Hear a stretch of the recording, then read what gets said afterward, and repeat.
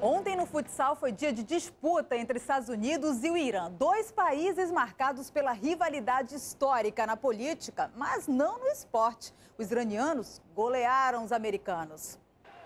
De um lado, os jogadores do Irã e do outro, Estados Unidos. Duas nações historicamente cheias de rivalidade. Mas na hora do jogo, as diferenças ficam longe da quadra. Aqui o importante é mostrar jogo, boas tentativas e jogadas limpas. Nada de faltas ou xingamentos, o que aconteceu. A partida foi mais tranquila e silenciosa do que se espera no futsal. E apesar de tímida no início, depois foi goleada do Irã. Um, dois,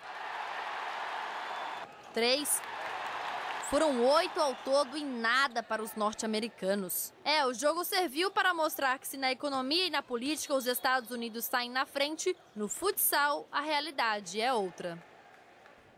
É, e o segundo jogo do Brasil no Grand Prix de futsal também foi de goleada. Os 10 gols sobre a Angola, mais os 5 do jogo de domingo contra a Guatemala garantiram a vaga da seleção canarinha nas quartas de final. Com menos de um minuto em quadra, a seleção brasileira tentou o primeiro gol. O ponto veio logo depois, num chute do Valdim.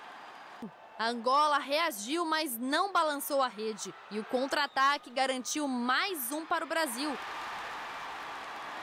Falcão só entrou lá pela metade do primeiro tempo, mas logo mostrou porque é considerado o melhor do mundo. E dali não parou mais, só deu Brasil. Chance para mais um gol do Vinícius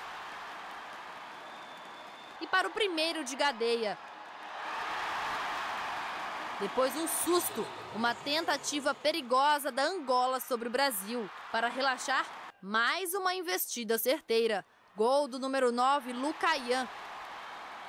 Com esses aí, o Brasil fechou o primeiro tempo com sete gols. O segundo tempo começou frio. Demorou, mas Angola aproveitou e marcou o ponto mais festejado da noite, com direito à dancinha. E ficou assim, 10 a 1 para o Brasil. Com vitória no domingo sobre a Guatemala e mais essa vantagem sobre o time da Angola, a vaga do Brasil nas quartas de final está garantida. O Brasil faz a última partida da fase de classificação hoje contra a Holanda às 7 da noite na Arena Amadeu Teixeira. O SBT Notícias termina aqui. Muito obrigada pela sua companhia. A gente volta a se encontrar amanhã às 5 para uma da tarde, ao vivo, aqui pela TV em Tempo. Eu espero você.